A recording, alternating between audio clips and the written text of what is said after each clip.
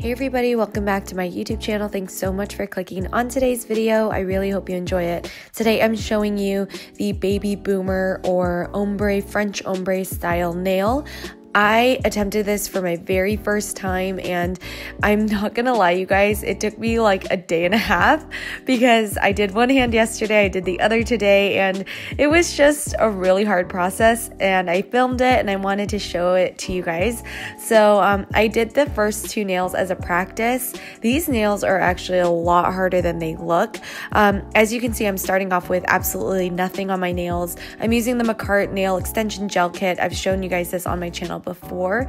Um, I did cut away some of the length than what you're seeing right here. I ended up like filing down my nails quite a bit, but let's just get started. So I'm using dual forms because the other two nails I did with a just like a sticker form and it was really really tough and it was really time consuming so I highly recommend using dual forms and the way that I did it in the beginning was I just buffed the nail plate a little bit and or the nail bed I had some of you guys commenting like stop calling it the nail plate um the nail bed and I'm just prepping it with some base coat gel base gel this comes with a kit so you don't have to purchase this extra. And then I'm using the Makartt LED lamp.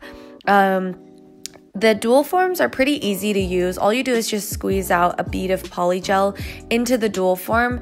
Um, I would recommend using the spatula and not just like putting it straight into the dual form. You can tend to get like excess and you don't want it squeezing or oozing out the side. It's just a waste of product, number one. And number two, like it's just too much product to handle.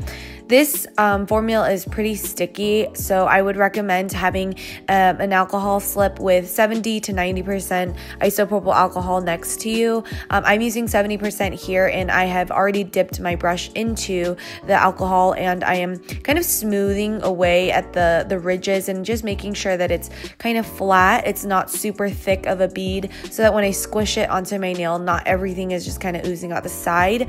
Um, so once I have kind of flattened it out, out to the desired length and shape that I want. I press it into my cuticle and just press it down. Once you have placed the dual form with the formula on your nail, I'd recommend going behind the nail and kind of smoothing it out just so that you don't have a huge lump or ridge underneath the nail when you cure it in the light. But once you kind of remove the excess product and cured it in the light, you should be able to wiggle the dual form and it pops right off like you can see.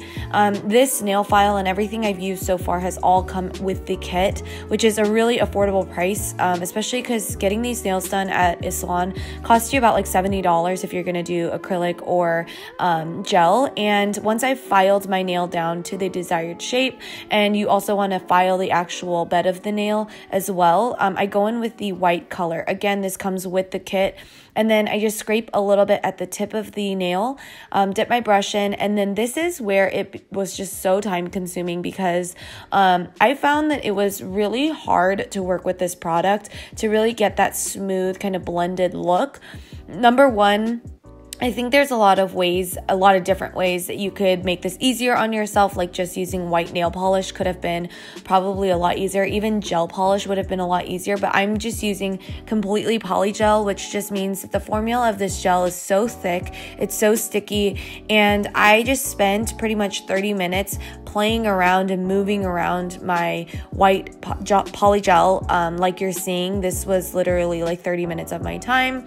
I was pulling it and pushing it and moving moving it all around until I felt like it looked kind of somewhat blended. But even then, um, it's looking streaky on some of my nails, especially my left hand. You guys are probably wondering how I even did my left hand. I couldn't even film it because my back was like literally hunched over and I was like trying to do my nails and there was just no way I could film the left hand process. It was just a mess, but I finally completed it and Again, this kind of process just takes a lot of time. Like I said, I would recommend maybe doing this with a white gel polish or a nail polish if you're gonna do these nails but you just really want to spend that time blending it out. And if you feel like you've used too much product, like I probably did here, I ended up actually pulling away a little bit and wiping off the brush, like just getting rid of some of the white product. Um, you want to pull it pretty far to your cuticle because we're actually going to use the um, natural pink polygel color over the top of the white, um, which kind of makes that blended look even more natural and just kind of more um, like you got it done, I guess. Um, I would recommend honestly getting these nails done. I don't think it's worth it to do this on your own but I just tried it. So I cured it in the light and then I'm just kind of scraping away my cuticles because they had like little pieces that hardened um, that I just kind of flaked away and picked at. And then I took my nail file again and just kind of filed it to my desired shape. The thing is with this polygel, um, the tendency for your actual nail, like the acrylic part, to be really thick is really high. So um, I ended up spending a lot of time shaving the nail because it's just such a thick nail. This polygel cures really quickly under the light and when you put it in the dual form, you don't have the um, kind of like control to control how thick you make the nail, if that makes sense. So it kind of can come out really thick. You just want to keep that in mind when you're using this kind of stuff. Next, you want to scrape out a little bit of natural pink polygel. This was a little bit too much, I found, but I just placed it and pushed it right into the cuticle. Because we used the clear, um, I just found that it looked like clear and then streaky white on top, which I thought was really ugly. So then I took the natural pink and um, just pulled it over the top of the white, which didn't detract at all from how bright the white is. That's what I love about this Makartt system. Like the colors are amazing, but the formula is really, really sticky, just so you guys have a heads up if you're planning on purchasing this. So like I said, maybe getting like a thin sheer um, like clear, maybe like um, bubble bath or put it in neutral by OPI and just kind of doing that over the nail part at this point would have been a better option. Um, I don't have those and I'm just using it completely with this gel kit, um, which is great because you get all of the stuff in one kit and you can do a hundred million different designs because this also comes with glitter. I'll leave all the links down below for you guys, but anyways, it's the same exact process, but you just pull it now forward or to the tip of the nail versus backward where you did it with the white. And now I'm just using the nail file again to just file away at the shape of my nail um, and I typically go for a, a, pretty square shape. I found that my nails ended up looking really like trident gum like you know like those gum squares? I think you guys know what i'm talking about. But it kind of came out like that. Not the happiest with the shape but again i think if i had like an e-file or um, something like that it would have come out a little bit better. Um, it is a lot of handwork. It's a lot of filing. So my hands were so tired after this. I spent like a solid four hours on just this hand, which sounds crazy because it's like, wow, what a waste of time. And it really is. I don't recommend like you doing this for four hours at all. But I was just interested to see what would happen if I tried this nail out. Um, again, I kind of scraped away too much of the white, so I went back and I put more white on top, which is the best part about this. Like you can keep building the nail, um, but and you can cure it and it's totally fine. So this is the ring finger cured and the dual form pulled off again with the clear and then I take the white after I have shaved the nail down and then I just kind of pull it around until it looks like that ombre baby boomer look. I don't even know where that name comes from, but that's um, what I'm doing here, and I'm just pulling it away to towards my cuticle, um, and then it kind of gives that that blended look. You don't want to have your um, brush be too wet because the more wet it is, it actually pulls up the formula of the polygel, it doesn't actually like stay on. So you just want to keep that in mind. Like make sure you guys aren't using too much alcohol at one time because it'll not let the polygel polygel stick. Um, as you can see, I'm like putting more down on certain edges and scraping off more on other sides and it's just kind of a process with this system and with this design so um, this brush actually comes with a kit again, and it's really handy to do really amazing nail art um, like this one here. And I think if I had left the nails a little bit longer in length, it actually might have looked a little bit better. Here I'm using the Top It Off top coat, um, but I realized I didn't need to do it on my ring finger, so I used some alcohol and I just wiped it off. That's what I love about gel systems. Like, if you have any mistakes um, before you cure it in light, you can just wipe it off and do it again.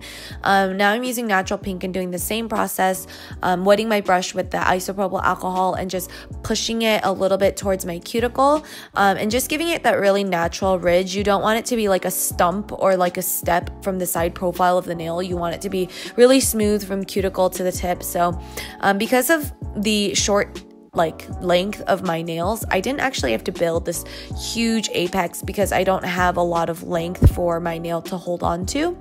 Um, I recommend making the white actually a little bit like three fourths of your nail and then allowing the pink to cover the fourth of your nail because I stopped the half with my ring finger and it just looks a little bit not as good in my experience. And um, when I'm using the dual forms with the system, I found that it's really important to not put too much product in because um, a little goes a long way. So once I've cured it, and as you can see, um, I have a lot of excess white as I'm using this, and I can just pull it away and then um, just kind of use less and then kind of use more. So that's what I recommend. Less is more with this system. Um, pull the white more towards the cuticle um, because as you can see my, see my ring finger it stops halfway and it does just doesn't look as good. Like it doesn't give that full gradient effect. So pull more to your cuticle um, and just don't be shy and um, yeah, make sure you clean up the cuticle like I am here with the isopropyl alcohol. Um, once I cured it in the light, I kind of wipe away the sticky residue and then I just top it off with a thin layer of top coat. If I were to do these nails again, like I said, I would use like gel polish to do this part and just if I wanted an extension nail I would have just used dual forms with the clear color and then just done um, the gel polish because it would have been a lot easier but I did find that it's a stronger nail, it's thicker, and um, yeah, it's just stronger in general because I'm using another layer of polygel. But again, it took me like half a day. So this is my left hand done. Um, I didn't film me doing my right hand just because I told you guys like it was so hard. I was hunched over and um, just doing it was the longest process in the entire world. So I was watching Game of Thrones while I was doing it, which probably didn't help with how long it took me. But um, yeah, these are my completed nails, and I really am interested to see what you guys think in the comments down below. Please um, leave me some comments. Let me know if you're a nail tech and um, what you would recommend to me the next time I do these nails again. Probably won't do them again, but you know, hey, comments are open for you guys. Um, don't forget to follow me on Instagram, Snapchat, and Twitter. Um, and if you guys like more nail vlogs and want more of these types of videos, then give this video a big thumbs up. I hope you enjoyed it. And um, I'm looking forward to see you guys in my next video. Bye.